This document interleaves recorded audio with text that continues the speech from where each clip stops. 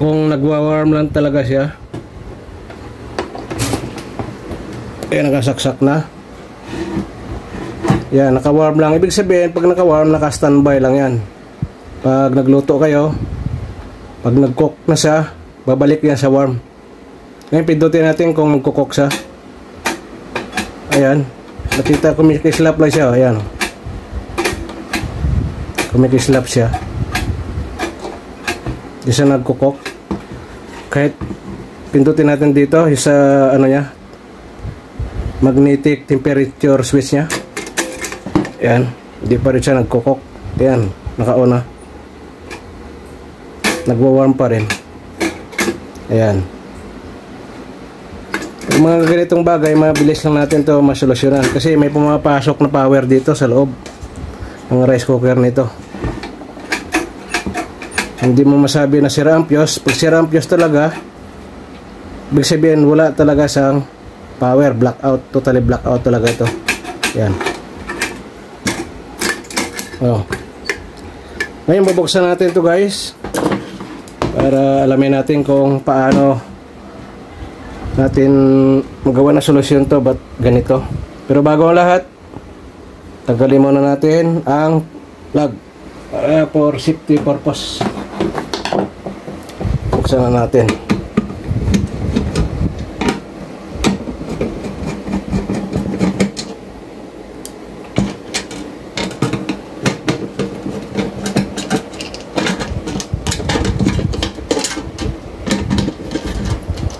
Kung ano ang problema nito. Yan buksan na natin. Ngayon kailangan natin ng tester. Dito tayo mag-una dito wag na tayo mag troubleshoot sa iba sa mga fuse wag na. Kasi may power sa ito na ang pinaka ano niya temperature switch niya. Ito. Dito tayo magpo-focus. Sa sa contact niya.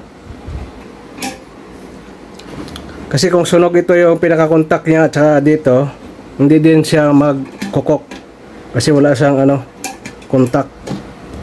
Ngayon, iwan natin yung tester natin sa continuity. Baser yung ano natin, baser. Dikit natin. Ayan, tumatunog. Ngayon, ito yung sa ilalim. Kung makita ko na ganito, ito sa ilalim guys, ito. At saka ito, pagdikit natin kung yung contact niya ay may continuity. Ilagay natin ito sa ilalim. Yan, tapos idiin natin dito. Ayan, tumunog siya, di ba? Ibig sabihin yung contact niya mayroon. Meron sa contact. Ngayon, alam natin kaagad ito na dito lang pala may problema kahit iangat mo siya na ganito hindi pa siya nagkukok dito kanina di ba ito ay tumama yung ano niya pangalan tapos ano sa rito 230 volts 60 hertz 650 watts made in China Karamitan naman ng mga rice cooker sa mabibili sa online, mga China made. Kaya ito yung problema minsan, yung switch niya ito. Yung contact niya, kung halimbawa hindi pa rin siya nag-contact, pinagdikit ko na ng ganito, wala siyang contact dito. Lihain lang natin ito kasi minsan nasusunog ito guys. Pag sunog, hindi siya nagkakaroon ng contact. Ngayon, titestingin natin. Lagyan natin ng power. Titingnan natin dito kung magkukok siya. Sasak natin. Eh, nakauna tayo sa warm pa rin. Ngayon, kailangan may ano kayo, ito. Screwdriver. Huwag kayong humawak dito ah. Dito kayo hawak.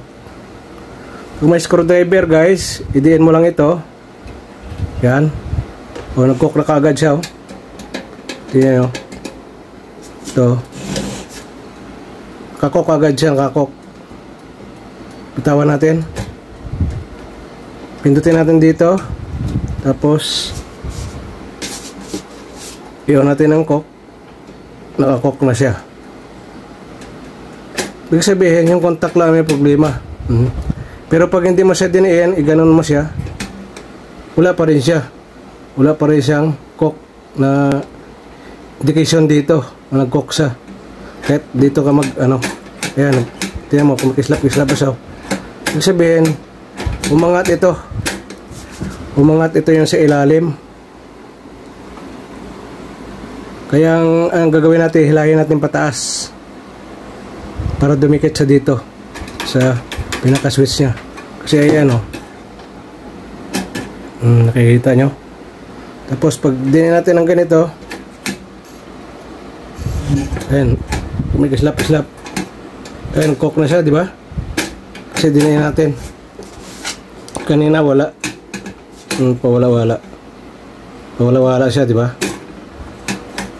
Ang gagawin natin, tanggalin muna natin ulit doon sa plug na naka-plug in para safety tayo. Iangat lang natin yung contact niya.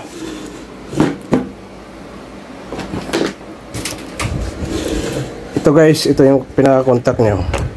Ayan, ayan. Ito, ito sa ilalim. Ito, ito. Iangat natin ito. Yan. Kasi siguro sa sobrang init, bumababa sa bumaba. Kaya ito lang yung iangat natin.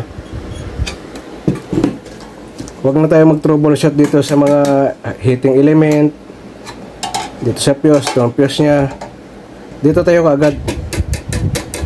Kasi may supply naman siya eh.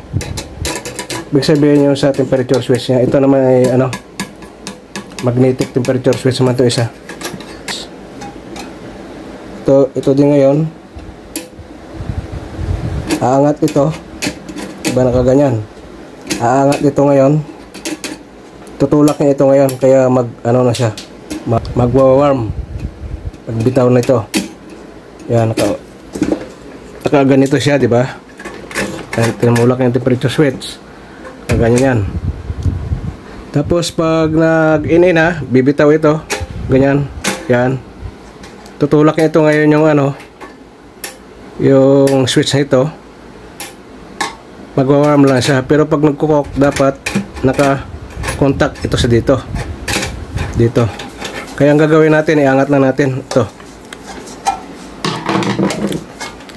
Kamay na lang yung gagawin natin. Ganito natin.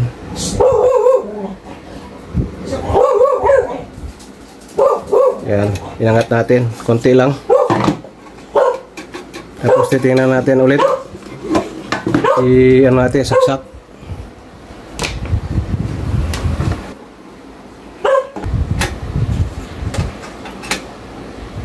Nagkok na kaagad siya guys, oh, di ba? Oh, nabilipat na sa kok. Kasi inangat natin yung kanina yung tinuro ko. Ito. Ito siya, ito. Ito yung sa ilalim niya. Pero kung nagdikit pa rin siya, kung makislap siya, pero isang linya lang man ito. Pero kung hindi pa rin siya kukontak, ano nyo lang, lihain sa ilalim dito. Ma, ano na yan, magkukontak na yan. Kasi nasunog itong kontak nito. Ganun lang guys, napakadali i-troubleshoot itong mga ganitong bagay na walang cook. Hindi siya nagkukok. Nagwawarm na siya, napakadali. Napakadali natin gawa ng paraan. Ito lang. Hindi siya nagkukontak. Yan. So guys, napasimple lang natin gagawin. Pinakita ko lang sa inyo kung paano natin i-troubleshoot yung mga ganitong bagay pag mga sa pagdating sa rice cooker na hindi siya nagkukok lagi lang siya nag-warm kita natin baka maluwag to yan open na yan dito natin, testing natin ulit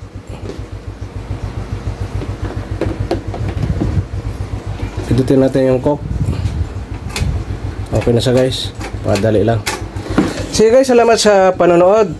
Ingat kayo lagi kung saan kayo naroon hanggang sa muli. Paalam. Little boo telling me she love me. I got this one, that one. Damn, it's gonna be a long night.